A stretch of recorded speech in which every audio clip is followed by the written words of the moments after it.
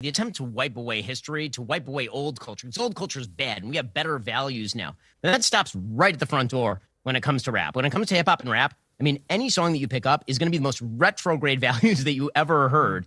If you're a progressive and you listen to rap, I'm not sure exactly how you square that, frankly, because uh, a lot of the stuff that's promoted in rap is mistreatment of women, treating of women as commodities, drugs, and the, the, the attempts to promote violence. I mean, all these messages are really bad, and kids do, in fact, imbibe them. People uh, in the uh, the black rap community have come out and said, "Look, this is just blatant cultural appropriation racism because you're accusing all their music that they produce of being about selling drugs, pushing guns, stripper poles, turning our sons into thugs, and so on."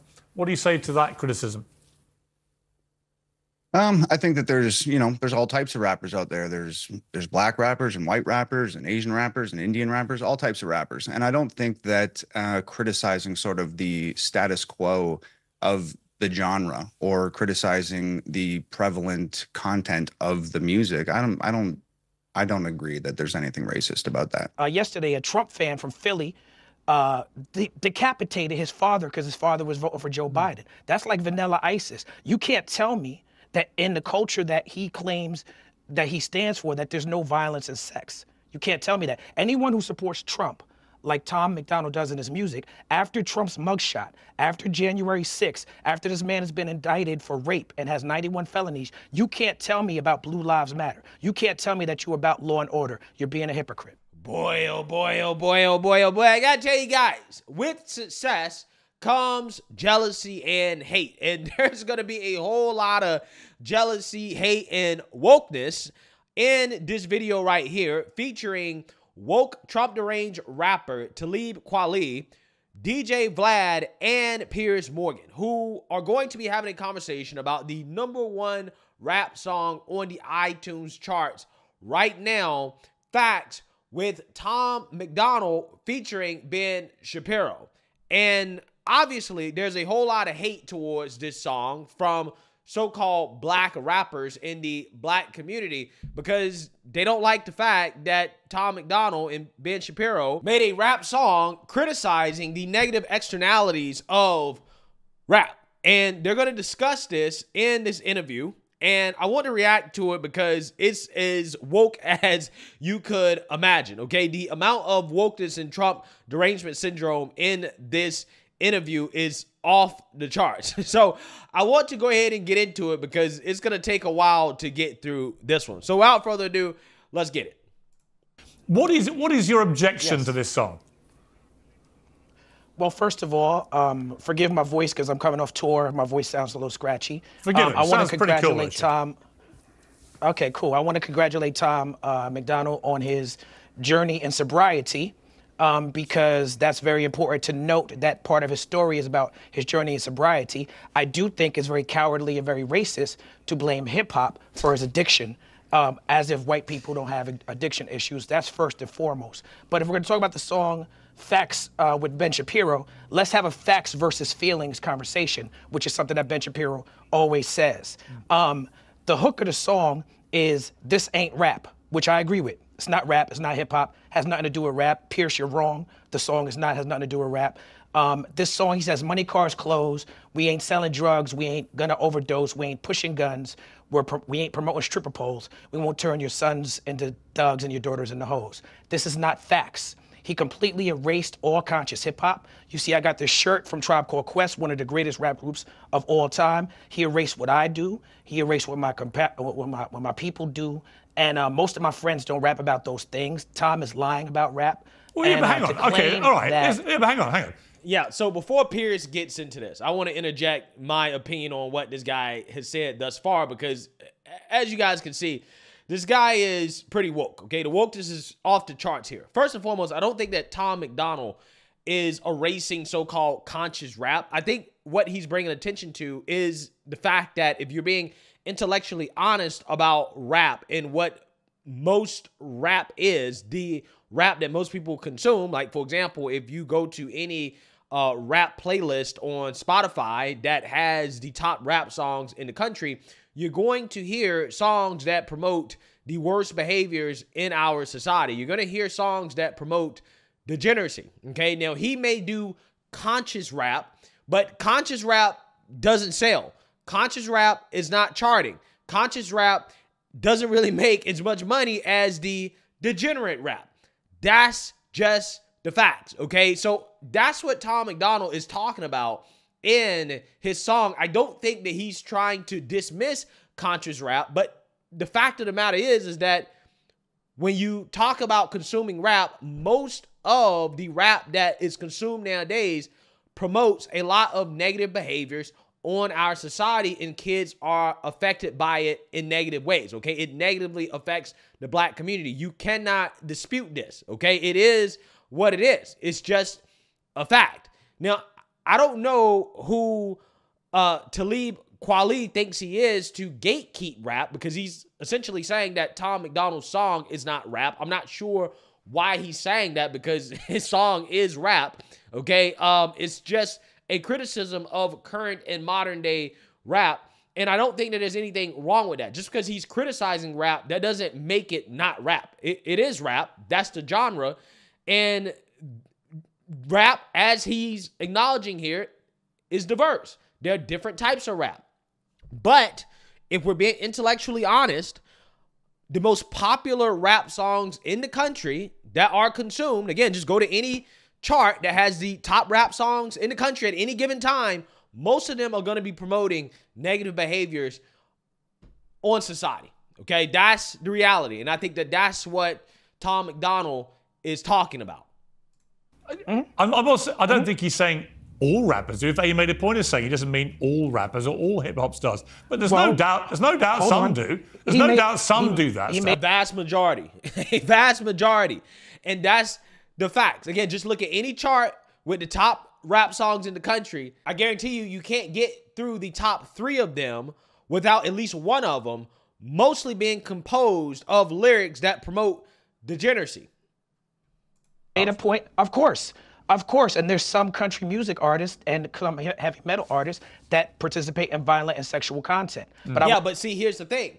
When you talk about those other genres of music, when it comes to the amount of degeneracy and negative behaviors that are promoted in uh, that music, um, it is not as prevalent, not nearly as prevalent as what you hear in rap. I guarantee you, if you go through the top country charts, the top rock charts, you're not going to hear songs in which a vast majority of the song is promoting degenerate behaviors you don't have to worry about your kids listening to these songs and coming away with being influenced to do things that again are very degenerate and negative for society. And I'm not saying it doesn't exist at all. And again, this is not me being a fan of rock or country, anything like that. I mean, don't get me wrong. I mean, I do listen to some country, okay, but um, I'm just being honest, okay? I'm being intellectually honest about the difference between rap as a genre versus some of these other genres and the amount of degeneracy in rap versus these other genres. And again, this is just the reality of it.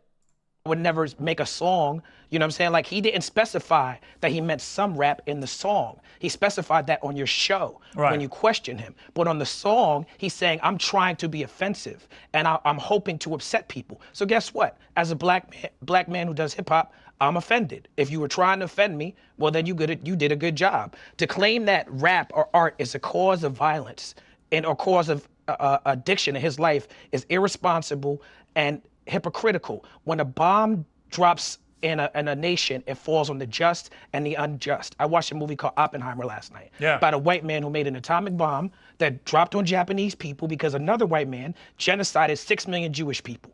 Killers of the Flower Moon is a movie about a great movie about a white man, white men who go and, and, and pillage and steal from Native American people. Uh, yesterday, a Trump fan from Philly uh, de- decapitated his father because his father was voting for Joe Biden. That's like vanilla ISIS. You can't tell me that in the culture that he claims that he stands for, that there's no violence and sex. Wow, this is probably one of the most idiotic arguments I've ever heard in my life because I'm not sure exactly what any of the things he just brought up have to do with the topic at hand, which is about music and different music genres and which ones promote degenerate behavior and which ones don't.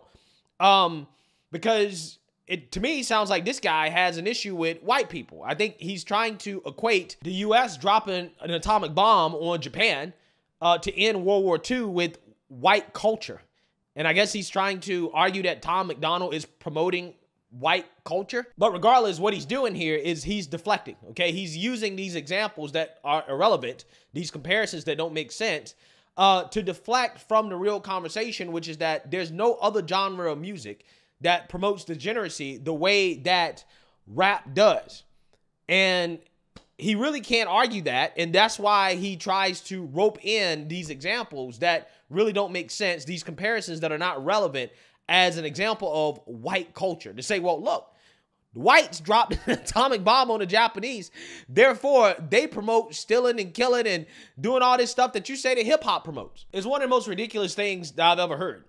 You can't tell me that. Anyone who supports Trump, like Tom MacDonald does in his music, after Trump's mugshot, after January 6th, after this man has been indicted for rape and has 91 felonies, you can't tell me about Blue Lives Matter. You can't tell me that you're about law and order. You're being a hypocrite. Okay. Okay, but again, what does Trump have to do with this? Okay, what does Trump have to do with the core argument, which is about the genre of music and whether or not most of the music promotes degeneracy and negative behaviors? It, it has nothing to do. Again, this guy is more obsessed with Tom MacDonald's skin color, white folks, and Trump than actually sticking to the real argument at hand because he really can't argue against it. But I'm not sure where Trump is going out and promoting drug use. I'm not sure where he's going out and promoting stealing, killing, robbing. I'm not sure where Trump is going out and promoting degenerate behaviors. I, I, again, I, I think that is not fair to equate the obvious political persecutions against Trump as well. Trump's not pro law and order. Again, it's kind of ridiculous because Trump is, not a criminal. He has not been convicted of any uh, crime. And the accusations against him, again, are political. Okay. Powerful words. Uh, DJ Vlad, you've been sitting there patiently. Uh, what do you make of all this? I mean, I agree. Uh, someone with Talib Kweli, who's uh, also a friend of mine. Um, the problem is, is that when you talk about rap and you want to talk about the, the gangster lyrics, the violent lyrics, the drug lyrics, when you look at rap as a whole, when you look at the biggest rappers in the world right now, Drake, J. Cole, Kendrick Lamar, these guys aren't rapping about drugs. They're not talking about violence. They're not talking about uh, you know, beating women or whatever else. And I think a lot of times when you have these songs that try to generalize these types of things, you know, it kind of it oversimplifies things and it gives rap in general a bad name. Well, I mean, look, again, it is true that some of the biggest rappers in the world, Drake, J. Cole, Kendrick Lamar, yes, their music is not as degenerate as, let's say, for example, a Cardi B or a Meg Thee Stallion or a Sexyy Red, but their music does not compose uh, a majority of rap. Again, if you look at any rap chart, look at a majority of the songs. Um, there's a lot more other uh, songs on these playlists that you can hear. For example, like drill rap, uh, like rap that again does promote some of these bad behaviors, that does promote drug use. You're gonna hear a lot of that, okay? Especially when it comes to uh, promiscuity from women. If you listen to the top female rappers, listen to the top female rappers, almost all of their songs incentivize and promote behaviors that are bad for women. Okay, almost all of them. Okay, they're all about F dudes, get money, sex. That's what they're all about. Sexyy Red has little black girls across the country talking about the color of their genitalia. She has been extremely influential. And these types of artists are pushed in front of kids' faces more so than people like a, a Talib Kweli, who you know does conscious rap, and that's who they're being influenced by. That's where the criticism is coming from. Has nothing to do with racism. Has nothing to do with um, you know black rappers or whatever. But reality is is that you do have a vast majority of rap that does promote this type of stuff and it's being pushed on people. It's the most popular stuff. Now, again, that doesn't mean that the top rappers in the world are necessarily pushing this to that level, but they don't make up a vast majority of the music either. They don't. You know, so it's kind of annoying. And, you know, listening to the song, you know, on face value, it doesn't sound like he's really saying anything wrong. But a lot of times when You you, know have these, these sort of white supremacist type of sayings, like, for example, all lives matter, you know, from the outside looking in, of course, all lives matter, but it's really a shot at Black Lives Matter and kind of trying to undermine that type of thing. So I really don't like. Vlad is ridiculous, right? He's one of the most ridiculous people because he's in the hip hop culture, and because he's not black, uh, they always criticize him uh, for not being black. They accuse him of trying to profit off of black culture. But he comes out here and says the most liberal and woke things all the time. But it will never be enough for the woke revolutionaries. The woke revolutionaries will never accept somebody like him because he doesn't have dark skin. Okay, he's not black enough. But yeah, he'll come out and, and say stuff like this, okay, and accuse others of being racist when the real racists are the people that don't accept people like him because of him wanting to be in the rap industry. Again, it's pretty amazing. you know what we call in hip hop sneak dissing, and I feel the song has a lot of sneak dissing. Tully, would it be fair to say that hip hop has moved to a, you know, for want of a better word, a better place? That it, it the biggest stars no longer want to rap about stuff that caused all the offense, and actually it's changed. Is that is that accurate? See, see, I don't think that this should be a conversation with three white people and one black person about the state of hip hop and a referee. Wow. Wow, incredible stuff. Again, this is what I'm talking about. These people who always boo, whine, and crying about racism always re- reveal themselves to be the biggest racists, right? They're the real racists in the room here. This guy says, Well, I don't think that we should be having a conversation about hip hop with three white people. As if white people have no contributions to hip hop, okay? Rap is exclusively for black people. When I would argue that, you could argue that one of the greatest rappers ever is white. Eminem. Eminem, he's white. Who consumes a significant amount of rap and hip hop music? White folks. Who buys a significant amount of the concert tickets? White people. In fact, without white people, a lot of these black folks in rap wouldn't be rich. You wouldn't be nearly as rich as you are because you damn sure not gonna get that rich just off black folks.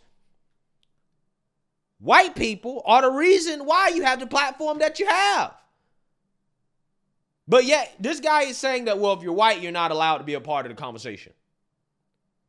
Amazing. Absolutely amazing.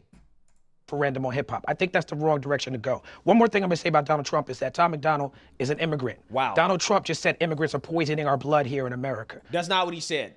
He said illegal immigrants. Again, this guy's brain is on MSNBC.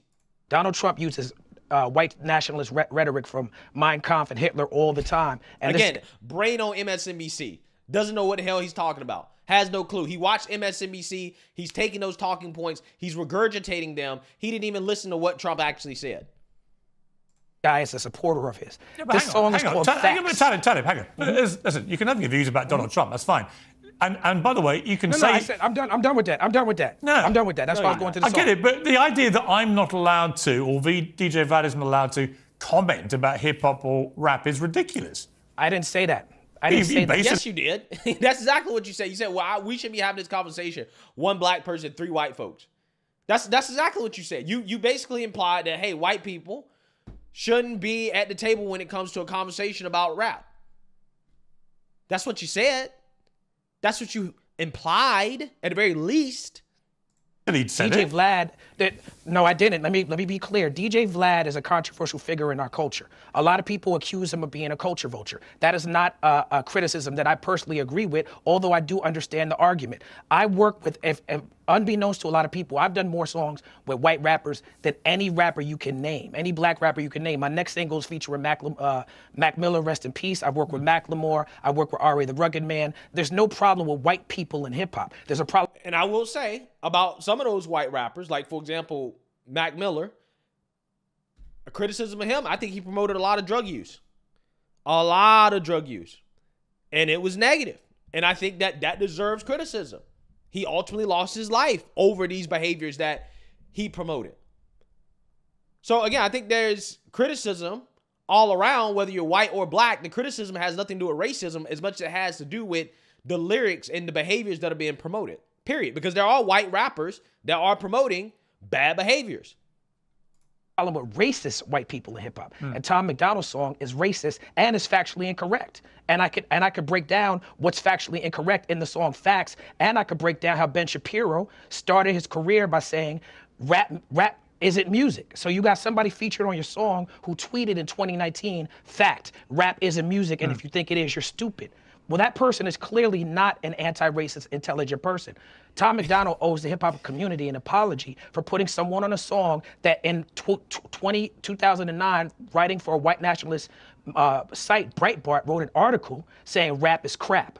These people don't respect hip hop. Tom MacDonald is making rap for people. Well, I think you're missing. like uh, look, I, I played some of this stuff back to Ben Shapiro yesterday. I think you're slightly missing the point. He's, he's lampooning the world of rap and hip hop. Oh, he I'm thinks not missing the point. He thinks there's a, the point he at thinks there's a lot of I- hypocrisy and I'm double very clear. standard there.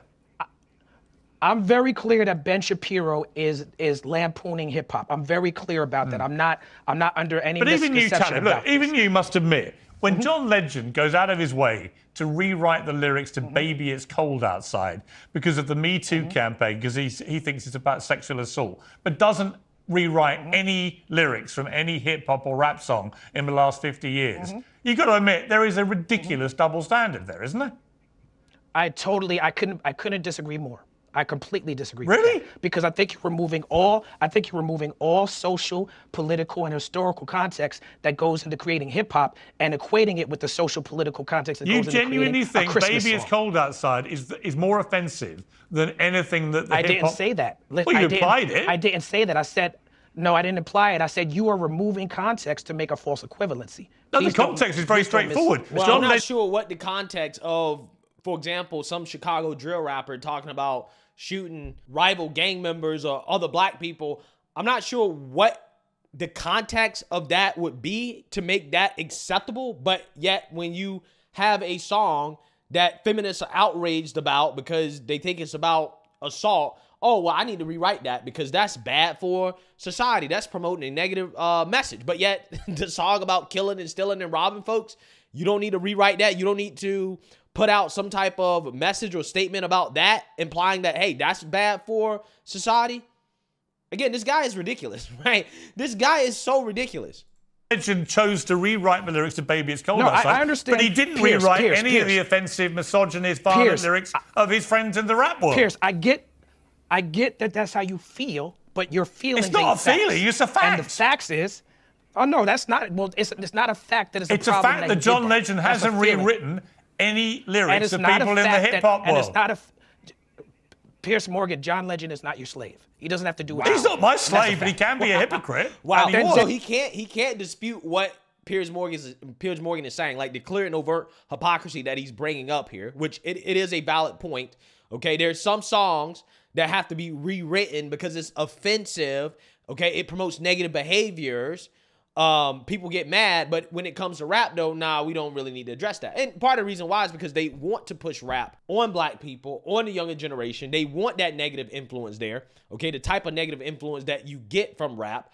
But regardless, this guy basically accusing uh Piers Morgan of thinking that John Legend is his slave just because he's pointing out hypocrisy. Again, this is what the woke revolutionaries do.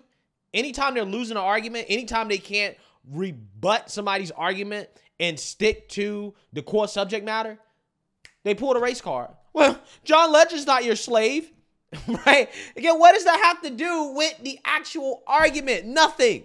Absolutely nothing. Then, then, then Then let's we- stop talking about John Legend because this is not about John Legend. Let's No, talk but about the song Facts. all right, but you- Let's stop deflecting. I'm stop not deflecting, deflecting. and let's talk about the song Facts. Okay. Which is what this dude spent the whole interview doing, which is deflecting, just like he's doing right now. He's literally deflecting from what Piers Morgan is, is bringing up, which is clear hypocrisy. Again, it's ridiculous. Okay, so can we get back to the Hang song on, Facts? let me- let me Okay, bring in the DJ first- Vlad. He's the been first very lyric. Uh, Tyler, there's, there's three of us here. the- We uh, bring in okay. DJ Vlad. You apparently, DJ Vlad, you're a culture vulture. What does that mean, first of all? Uh, I mean, from my point of view, I think that's a slang for pretty much any white person in hip hop. Uh, I've seen every prominent white person in hip hop being called a culture vulture, from Steve Rifkin to Lyor Cohen to Eminem Also, to also Mac black Miller. people. Also, Uh, black people get called culture vultures. Also, black No, they don't. No, they do not. This guy is so disingenuous. When's the last time you ever heard a black person get called a culture vulture? Has Darius Rucker the country music star, has he ever been called a culture vulture? right? He's trying to uh, appropriate white culture. Has anybody ever said that? Nobody's the only people that complain about that are black people who don't like white people uh, doing things that they feel are exclusively for black people better than them right that that is that is where that term is actually used the most okay when they allow white people to come into their space and the white people are more successful than them they get pissed okay and that's what happens to dj vlad because his interviews are wildly successful and people are pissed off about it because you don't have black people that are as successful as he is at these interviews right again it's just it's, it's amazing black people get called culture vultures in this culture. culture. So it doesn't. It's Not not. just white it's not skin skin color specific. You can be a black No, it's or not. white It's not. It's culture not. vulture. Right. Okay. It's not. Absolutely. Am I a Absolutely. culture vulture? But, but, but white people do get it. White people do get a little heavier than others, and, and I've never minded being. That's called right that. For- because for white it's people. fine. That's I'm not that's sure. exactly I- that's I- I- exactly right yeah. because white people are the dominant group. It, that's how it goes. Racism is not logical or convenient for anybody. I- I- Sorry.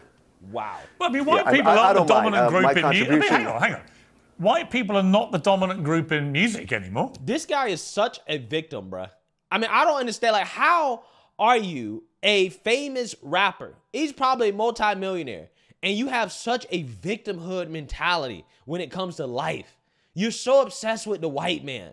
You're obsessed with victimhood. I don't get it. I don't understand it. I really don't. I, I would really hate to be this guy. Okay, I, I think he has some problems that he needs to address internally.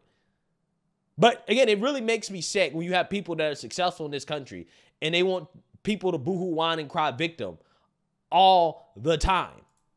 I would say most of the Uh, yes, biggest stars Yes, in the they are. world right yes, now they are. are. not white, white. people own all of the record companies. White people own all of the record companies, Piers. That's true. Well, I White had that conversation with Kanye. labels- I had that conversation with Kanye, and he felt very strongly about it. And I had that conversation with him, and he, he may have Mm-hmm. a point about that.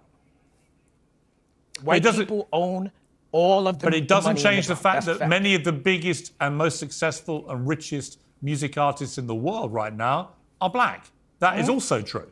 All right, well let's change let's change places. How about we get all the money and y'all get to tap dance? How about that? I don't think you're short of a few bob, are you? Wow. What'd you say? I don't think you're short of a few bob, as we'd say in England. You've got a few dollars up your sleeve. Um, it does. The money is not is not about is not about whether or not one individual makes it. I am an exception to the rule. The vast majority of my people are not rich people, and that's a fact. And I'm an exception to the rule because I make money doing conscious underground hip hop. I'm not doing pop hip hop. I'm not uh, appealing to a MAGA fan base. I'm not. I'm not. I, I don't rap about materialism, misogyny. I don't do any of that. So I'm the exception to the rule.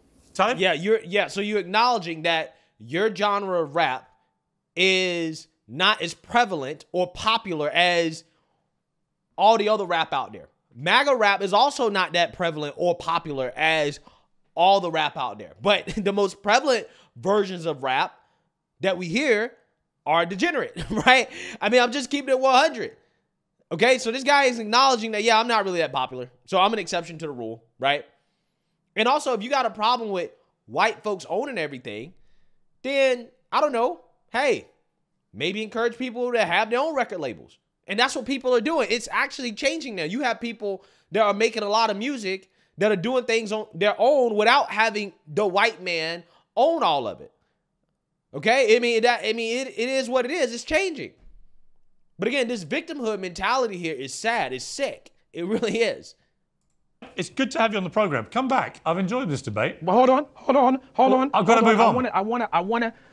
Okay, but I want to, I want to say that Ben Ben Shapiro has a history of racist comments. Yeah, you said that, And for but- Tom MacDonald. You, you know what? Okay, Listen. well then y'all y'all should acknowledge that. Okay, you've said your you said your bit. Uh, DJ Vo, thank you for coming ba- uh, back on. Please come again soon. I enjoyed that debate. Thank you. Wow. Incredible stuff.